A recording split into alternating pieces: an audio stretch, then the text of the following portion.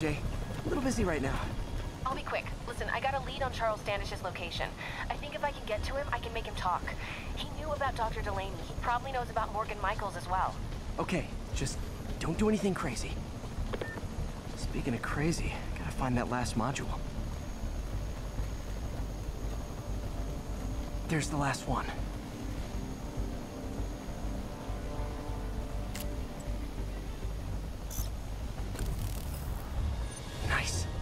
Now I can get into Norman's office and hopefully find out more about Morgan Michaels and Devil's Breath.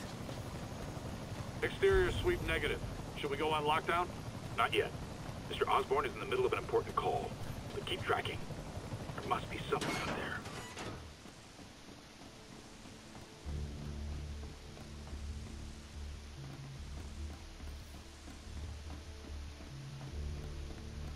Hold on. Switching to a secure line. I'm way ahead of you, Wilson. Go through all your files. If you try to expose our business arrangement, it'll be your word against mine. And I'm not the one behind bars. Is Norman talking to Wilson Fisk? Neo statue. What are you talking about? The Neo statue from the auction house. They must be talking about that file MJ found. Who has the file? We do, Norman. But it doesn't tell us enough. Which is why I'm doing some slightly illegal but morally acceptable B&E right now. Humble son of a bitch! You're lying! Oh, don't be too mad, Norman. We know you and Fisk built a secret Devil's Breath lab, but we still don't know where it is and what Michaels has to do with it. Let's hope your computer can tell us more.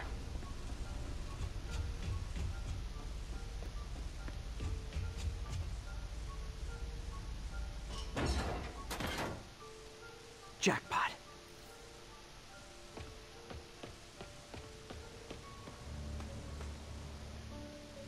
GR27.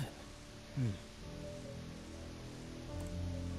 Dr. Morgan Michaels is the chief scientist, but the location of the lab is redacted. AI-controlled CRISPR.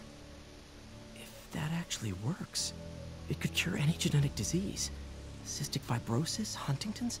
This is crazy.